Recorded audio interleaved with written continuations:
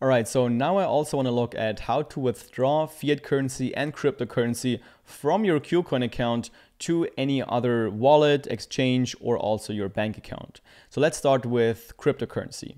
So we're going to go over to our wallet right here, click on main account, and then we're just going to go to withdraw right here.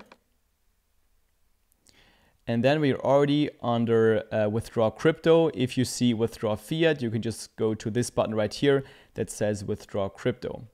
Then once you're here, you want to set the coin that you want to withdraw. So let's say we want to withdraw some Ethereum right here.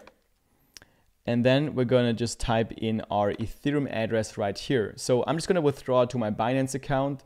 So I'm to go over to my Binance account and I've already set, uh, I've already generated my Ethereum address right here. So I'm just going to click on copy and I'm going to go back, paste the address in right here. Always use copy and paste because that's the safest way. And then um, the address, as you can see here, is the Ethereum network. So I, I also want to set this network to Ethereum network. That's very important.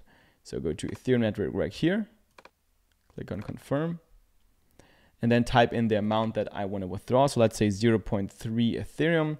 And then I can uh, say where this amount should be taken from. Currently, I have some Ethereum in my main account and also in my trading account. So let's say it should take it from my main account. Then I can click on withdraw right here.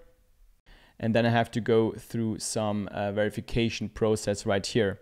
So just click on confirm withdrawal, uh, then type in your trading password, uh, your email verification code and your 2FA code from your Google Authenticator or whatever application you're using. Click on submit and then the funds will be taken to whatever address you have chosen. Now it will take some time until the funds arrive because uh, with blockchains it will just take a couple of confirmations but eventually if you type in the right address the funds will arrive.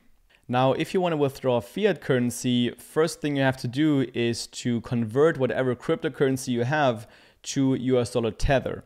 Once you have US dollar tether, you're gonna have to go to fast trade right here.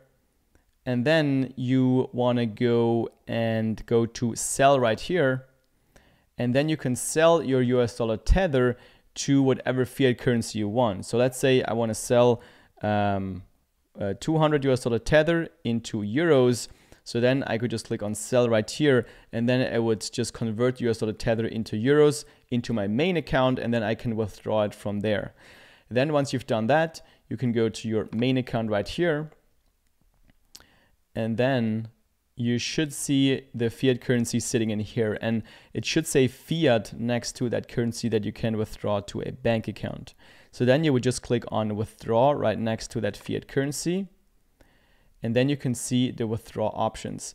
Now currently for US dollars, there's only a third party provider option, which is ADV Cash. So we'd have to go through that and sign up on everything. If you use, um, what I would do is just uh, withdraw it in euros because if you withdraw it in euros, then you can use a bank transfer as you can see right here with a fee of 80 cents, which is very low. So um, personally, I would just use euros and then you just uh, just create uh, click on add new account add your bank account right there and just click on withdraw and then it will take one to two business days until the euros will be sitting in your bank account